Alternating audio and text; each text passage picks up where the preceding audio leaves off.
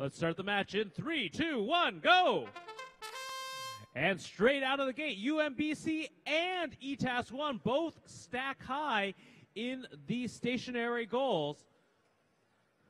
So they're even at two and two. You saw that for a very brief moment, UMBC had seven points because they had the highest stack in the stationary goal. That was quickly negated by the blue team. As we move through the autonomous period, both teams scoring a mobile goal in the 20 point zone, but the red with three cones on top, blue with only one cone, giving the red the highest stack bonus. So with seven seconds left in the autonomous, both teams are making excellent use of this autonomous time.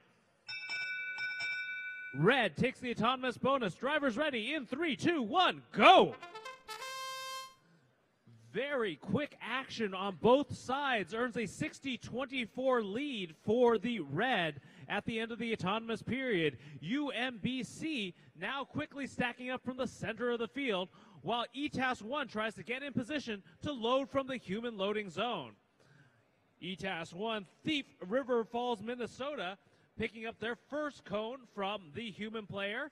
Meanwhile, UMBC already stacked up high. They've got seven, going on eight, and now nine stacked up high on that mobile goal. They look to deposit it in the 10 point zone. One last mobile goal remains for the red.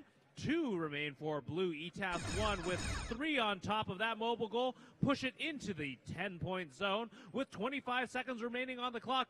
UMBC is fast stacking their last mobile goal while ETAS 1 picks up their third of the four. 15 seconds left to go. I'm not sure ETAS will have enough time left to score on top of that mobile goal, but they're certainly going to try. With seven seconds left, they head to score. Three seconds now, two, one, and time.